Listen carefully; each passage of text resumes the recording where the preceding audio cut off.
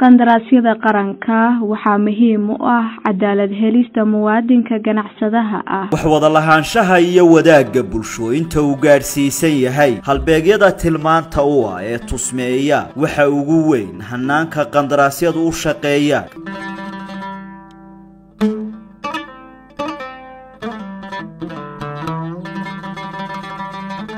toosinta sharciga iyo isku tiirsanaanta dadweynaha horumarinta dalka gebi ahaanba waxa ay tilmaamaysaa qarannimada jamhuuriyadda somalilan. Xukuumadihii kala dambeeyey dadaalkeeda ayay ku jireen sidii loo heli lahaa somalilan horumarta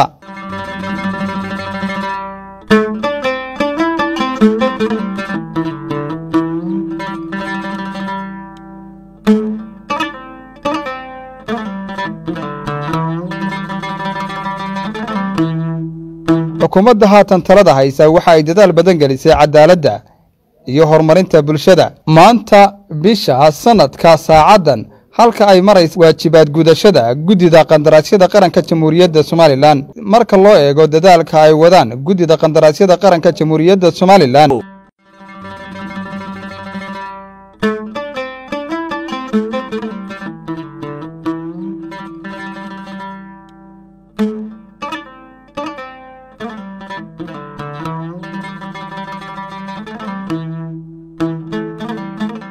marxalado kala duwan iyo duruufo kala gedisan ayaa habka qandaraasyadu soo mareen. Guddida qandaraasyada qaranka jamhuuriyadda somalilan waxaa la aasaasay sannadkii kun guddida xilligani joogta markii uu madaxweynaha jamhuuriyadda somalilan muuse biixi cabdi uu magacaabay xafiiska qandaraasyada qaranka. Waxaa la geliyey dadaal badan oo dhanka cadaaladda waxaanay noqotay midho dhal daraygood la goostay oo ay mahadiyeen ganacsatada iyo muwaadiniinta reer somalilan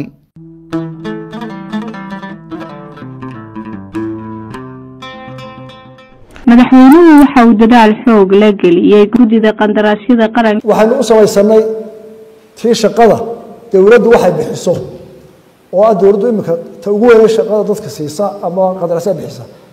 Waxaa loo baahan yahay oo aynu u jidaynay oo isaga marnay saddexaad sannadood guddiga qandaraasyada. Waa inay dhisantaa oo guddi adag noqotaa oo wixii dhiska daba tagtaa waa la kori doonaa. Laakiin waddaynu helnay oo waynu mahadinay waxaa laga rabaa baacmushtarka gaarkiina inuu u maro hantida uu dhisanaya iyo wuxuu bixinaya in loo sinaado oo kaas koo loo maro oo sharciya. Gudoomiyaha guddida qandaraasyada qaranka oo faahfaahin ka bixiyey qandaraasyada labada kun iyo labaatanka uu qabsoomay iyo nidaamka qandaraasyadu yihiin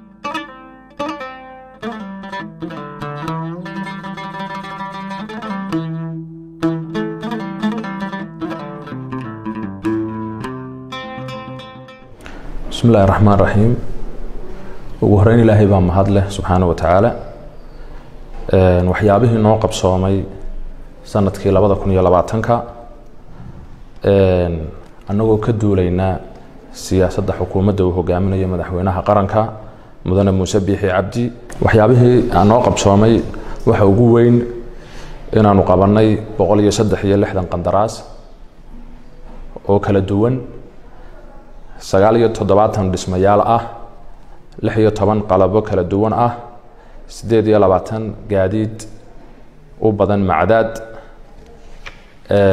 mashaariicda lacagta ku baxday waa labiyo toban milyan oo dollarka maraykanka ah. Lacagtaa labiyo tobanka milyan ah cid inaga caawisay ma jirto. Waa cashuurtii dadweynaha laga qaaday oo dib loogu soo celiyey mashaariicda haddii aan gudagalo waxyaabaha ugu waaweynaa waxbarashada. Koob iyo soddon qandaraas baan u qabannay oo lacagtoodu dhan tahay malyuun iyo afar boqol iyo sagaashan kun oo dollar. Wasaaradda horumarinta caafimaadka iyadana waxaan u qabannay labiyo labaatan mashruuc oo m c hyo cusub oo dalka laga dhisay iyo cusbitaallo cusub oo iyagana saddex cusbitaal oo dalka laga dhisay iyo cusbitaaladii hore oo riberin lagu sameeyey malyan iyo shan boqol iyo sagaashan kun oo dollarka maraykanka ah wasaaradda khayraadka biyaha horumarinta khayraadka biyaha iyadana waxaan u qabanay shan mashruuc dhaamam iyo ceelal iyo gaadiid iyo mashiino ka kooban saddex milyan afar boqol iyo toddobiyo konton kun oo dollar. Wasaaradda ama waddooyinka iyadana waxaan u qabanay lix mashruuc oo kala duwan buundooyinka ceergaabo oo la dhisayey iyo qalabo kala duwan malyan iyo lix boqol oo kun oo dollar ayaan iyadana aan u qabanay ciyaaraha waxay dowladdu iyaduna ay gelisay afar boqol iyo afar iyo toban kun oo dollar. Wasaaradda xanaanada xoolaha iyo horumarinta kalluumeysiga iyagana waxaan u qabanay saddex iyo toban mashruuc oo kala duwan. Malyuun boqol iyo lix iyo toddobaatan kunba iyaduna ay dowladdu ku bixisay waxyaabaha kale iyagana noo qabsoomay waxaa ka mid a inaanu nidaamkii qandaraaska aan u bixin jirnay aan wax badan ka bedelay sanadkan oo saylan barayskii aanu average ka dhignay oo shirkadaha iyo guddida iyo guddoomiyahooduba ayaan mar wada ogaanayno qiimaha ay dowladdu wax ku bixinayso. Shirkadaha hortooda ayaan ku ayaan ku samaynaa average ama haddii xisaabta celcelis ahaan ayaan ku soo saarnaa taasoo ka saartay madmadow badan meeshii. Sidoo kale waxaa ka markhaati kacay guddida qandaraasyada qaranka jamhuuriyadda somalilan waxqabadka muuqda ee ay soo bandhigeen. Qaar ka mida muwaadiniinta qandaraaslayaasha ah. Waxaan kolley aada ugu faraxsanahay. Waxa aan maanta halkan kala kulmay. Oo aanan markii hore islahayn somalilan way taallaa. Se inay taalla maanta guddiga qandaraasaadka aan ka arkay. Cadaalada. Anu waxaan ka mid ahay shirkadii laga guuleystay markii hoolkaa lagu furayey eenu saa u eegnay aniga iyo guddoomiyaha ku dhawaaqaya seelin baraysku isku mar baanu ogaanay. Isku mar. Ayaanu qiimaha lagu tartamayo halkaa ka ogaanay. Markuu ku dhawaaqay anna waan maqlay ista carabkiisa ka soo baxday anna dhegtaydaa maqashay. Waa wax aada loogu qancatee kii ugu horreysay aan ka soo qayb galo tartan noocan oo kale ah waxaa aan aada iyo aada ugu mabsuud ahay ama aan aada iyo aada ugu faraxsanahay habka iyo maxaan ku dhahdaa nidaamka. Xafiiska guddiga qandaraasyada uu shaqaynayo. Markii hore waxaanu moodi jiray dee in waxa la qaato meelahaasuun ma garanaysaaye laakiin sidani waa highly transparent wey waa wax aad iyo aad iyo aad u qeexan oo muuqda oo aan la qarin karin oo aan wax been laga sheegi karin. Tartanku hadduu caynkaa yahayna waxaan u malaya inaanan daynaynin shirkadaha soo tartamay ama tartamayaasha sanadkan xafiiska ku soo tartamay kun laba boqol iyo sagaal iyo afartan tartamay ayay ka koobnaayeen. Cid ambiil ka qaadatay ama shirkad ambiil ka qaadatay guddida haba yaraatee ma jirto. Afar shirkadood baa guddida cabatin u keentay. Cabatinkiina guddidu markay dhegaysatay jawaabtii guddida way ku qanceen. Shirkadihii cabatinka keenay oo halkaasay cabatinkii ay dib ula noqdeen waxyaabaha sanadkan noo qorshaysan waxaa iyaduna ka mid ah inaan xafiisyo ka furanno oo aan maamul daadejin samayno gobollada iyo degmooyinka dalka annagoo shaqaalihii qaadanay oo u marnay nidaamka shaqaalaysiinta dalka oo shaqo qaran baanu ka qaadanay waxyaabaha kale aan aanu qabanay waxaa ka mid ah inaanu tababar aanu siinay shaqaalaha yaga iyo ka wasaaradaha iyo hay'adaha dowladda iyo dowladaha hoose qaarkood annagoo ku tababarnay nidaamka qandaraaska dowladda. Waxyaabaha kale iyagana sanadka noo qorshaysan aanu gacanta ku hayno waxaa ka mid ah in aanu hab online ah aanu kula socon doono mashaariicda wasaaradaha iyo hay'adaha dowladda. Annagoo marayna nidaamka guddida qandaraaska qaranka xeerka u yaalla oo aan hay'adna loo sii deyn karin wixii shan kun ka badan haddii ayna guddida qandaraaska qaranka soo marin habkaasoo online ah. Agaasimaha guud ee guddida qandaraasyada qaranka jamhuuriyadda somalilan oo si khaasa u bayaamiyey qaabka ay shaqadu u socoto guddida qandaraasyada qarankana kor loo qaaday. Bismillahi raxmaan raxiim haddii aanu nahay mas'uuliyiinta iyo baxweynta kale ee guddida qandaraasyada qaranka tan iyo hogaaminta madaxweynaha jamhuuriyadda somalilan mudane muuse bixi cabdi waxaa noo suuro gashay si hufan oo madax bannaan inaanu u gudano waajibaadkayga iyo mas'uuliyadda naloo igmaday sidoo kale waxaanu ku guuleysanay korqaadidda iyo tayeynta nidaamka qandaraas bixinta dalka. Kadib markaanu tayeynay korna u qaadnay nidaamka qandaraas bixinta dalka waxaa noo suuro gashay inay ku soo dhiiradaan dhammaan shirkadleyda iyo ganacsatada dalku.